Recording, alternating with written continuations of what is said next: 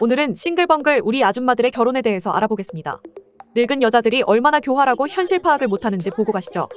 한 공무원이 이런 댓글을 쓰면서 이야기는 시작됩니다. 솔직히 지금 남편 소개팅했을 때 공부만한 모쏠이라 듣고 나도 사귄 남자를 3분의 1 줄여서 이야기했음 크크. 본능적으로 그렇게 되는 게 데딩 때부터 사귄 전 남친들은 다 차 끌고 다녔는데 그런 이야기도 안 하고 뚜벅이도 좋다고 겁나 연기해서 결혼까지 성공했답니다. 좋은 집에서 가정적인 남자랑 사니까 겁나 행복해요 데딩 때 자취하면서 종로건대 강남에서 겁나 놀았던 건 비밀. 내 친구들 다 이렇게 결혼했답니다. 나는 개꿀팁을 말하는 우리 여자의 모습이 보이시죠?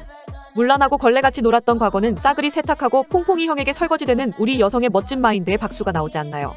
말하는 꼬라지가 아주 마음에 들지 않지만 여자의 무기가 뭔지 정확하게 알고 있다는 생각이 드는군요. 하지만 모든 여자들이 이렇게 쉽게 설거지되지는 않는답니다. 40대 여자 결혼할 수 있는 방법은 어떤 게 있나요? 결정사밖에 없을까요? 교사 조직에 있다 보니 주변에 노처녀 언니들이 많아요. 인정하기 싫지만 남자와 여자가 서로 중요하게 보는 가치가 다르다 보니 나이가 많아질수록 여자가 불리해지네요.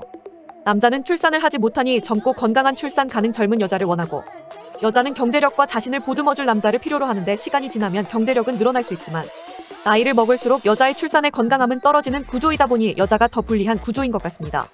남자는 자기보다 조건이 안 좋아도 어리고 예쁜 여자를 찾는데 여자는 조건이 좋아도 연하남이랑 사귈 수도 없고 좋은 언니들이 많은데 결혼을 못하고 속상해하는 걸 보니 마음이 아파서 글을 남깁니다. 결혼을 못한 여자는 노처녀 히스테리 소리를 들어야 하는 게 너무 억울합니다. 결정사 말고 40대가 연애를 할 수 있는 방법은 없나요? 모임도 보통 30대 위주라 힘드네요. 나는 우리 40살 노처녀 아줌마의 하소연도 보실 수 있습니다. 이 여자는 여성과 남성 간의 역학에 대해서 아주 잘 알고 있는 걸로 보여지죠. 남자는 시간이 지날수록 경제적 여유가 많아지니 인기가 많아지지만 여자는 시간이 지날수록 임신의 능력이 떨어지니 인기가 떨어진다는 내용을 정확히 알고 있습니다. 처음에 보여드린 여자와 방금 보여드린 여자 모두 공무원 조직에서 일하는 여자입니다. 그런데 첫 번째 여자와 두 번째 여자의 인생은 사뭇 달라 보이지 않나요? 첫 번째 여자는 어릴 때부터 걸레같이 많은 남자를 만나며 남자를 찾아온 여자이고 두 번째 여자는 다 늙고 나서야 남자들의 성향을 파악해서 이제와 후회하는 타입이죠. 여자에게 그 무엇보다 중요한 건 나이라는 걸 명확하게 알 수 있는 부분이 바로 이런 겁니다. 40대 초반의 골드미스들 잘 들으셔야 해요. 여러분들이 원하는 남자는 돈 많은 남자니까 이 남자들은 똑똑하잖아요. 자녀 출산 때문이라도 나이 어린 여자를 원한답니다. 여자에게는 나이가 혼수예요. 나는 팩폭으로 느껴지는 바가 없으신가요?